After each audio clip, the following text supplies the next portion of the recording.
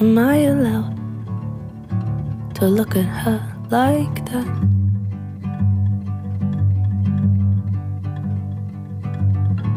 Could it be wrong when she's just so nice to look at? And she smells like lemongrass and sleep. She tastes like apple juice and beach. Oh, you would find her in a Polaroid picture.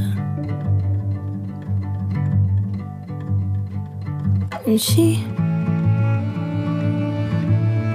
means everything to me. Oh.